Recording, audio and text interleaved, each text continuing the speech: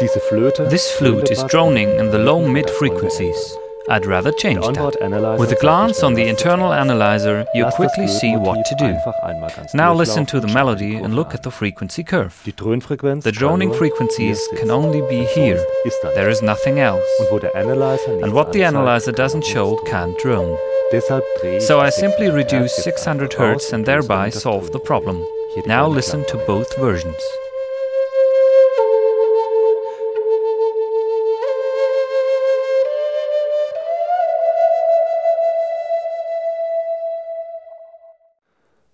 I have chosen a Q factor that correlates with the frequency response. Generell solltest du gerne In general, processings with wider Q factors sound more musical and less contorted. wird.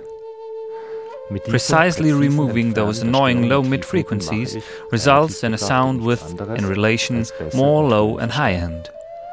The flute öffnet sich der sounds more open and present and keeps a balanced level over a wider frequency range. Störende Of course, bothersome frequencies cannot nicht immer so always be found so angezeigt wie bei easily as in this example.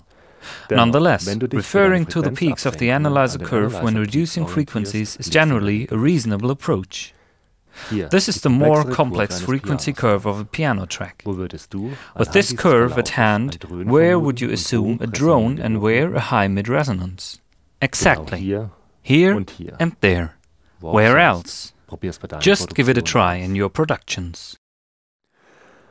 Ich arbeite täglich mit dieser I use this technique every day and so save a lot of time.